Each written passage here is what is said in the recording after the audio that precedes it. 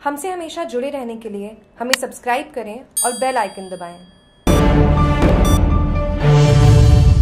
अनंत चतुर्दशी को किया हाथल में गणपति बप्पा का विसर्जन गणपति बप्पा मोरिया के लगे गगन भेदी जयकारे, झूमते नाचते गाते हुआ गणपति बप्पा का विसर्जन। हातल में गणपति बप्पा का विसर्जन हर्षालास व धूमधाम से अनंत चतुर्दशी को शुभ मुहूर्त में किया गया। गणेश चतुर्थी के दिन हाथल में आजाव माताजी भवन में स्थापित बप्पा की मूर्ति को हाथल भक्त मंडल ने पूजा अर्चना कर मान सम्मान के साथ विदा किया। गणपति जी की आरती उतार कर उनका मन पसंद प्रिय लड्डुओं का भोग लगाया गया। उनसे विदा लेने की प्रार्थना की।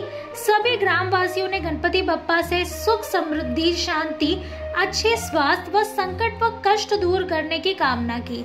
11 दिन की स्थापना के दौरान जाने अनजाने में हुई भूलों के लिए भी सभी ने क्षमा याचना की। गगन भेदी, गणपति बप्पा मौर्य के जयकारों व ढोल धमाकों के बीच लक्ष्मी नारायण जी मंदिर कुम्हारवास स्टेशन व रामदेव जी मंदिर होते हुए सुकड़ी नदी तक गणपति बप्पा की शोभा यात्रा निकाली गई। महिलाओं ने विनायक के मंगल गीत गाए। सभी ने जयकारों के साथ ढोल की थाप पर जमकर नृत्य कर आनंद उठाया। इस दौरान इंद्र देवता भी जमकर बरसे।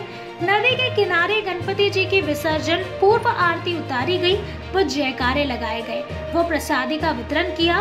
बप्पा के विसर्जन से पूर्व सभी ने गणपति जी के चरणों में पुष्प अर्पित कर दर्शन लाभ लिए। पूरे मान सम्मान के साथ गणपति बप्पा मोरिया, अगले बरस तुम जल्दी आना के गहन चुंबी जयकारों के साथ जल में बप्पा का विसर्जन किया गया। इस मौके पर चिराग त्रिवेदी, दिंगत त्रिवेदी, वीरेश भट्ट, यशवंत टाक प्रकाश शुक्ला डायलाल ओझा, जगदीश धरावर शांतिलाल त्रिवेदी समेत काफ़ी संख्या में ग्रामीण महिला, पुरुष व बाल गोपाल उपस्थित थे। जागरूक टीवी की नगाड़ी से महेंद्र सिंह परमार की रिपोर्ट।